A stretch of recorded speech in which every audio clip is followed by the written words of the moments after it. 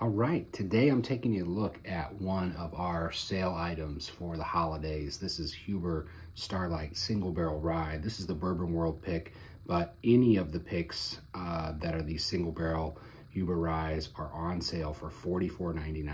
So regular price $59.99, on sale for $44.99. It's a hell of a deal. Um, this is one of the best craft producers of whiskey in the United States. The Hubers are always using much higher quality barrels in all of their aging, whether it's just air dried longer or a particular finish.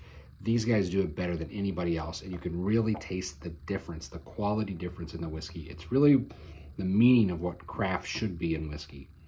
So this is a 111 proof rye. On the nose, it has that pine note, a little bit of that kind of slapped mint note you get when you're when you're making a julep. Uh, and it's got a nice little backbone of spice as well. Let's take a sip. Mm. That's what I'm talking about. First, it's like an MGP.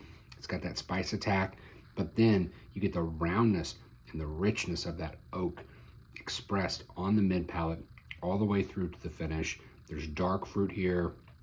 There's more cinnamon that comes back. It's a fantastic example of rye whiskey.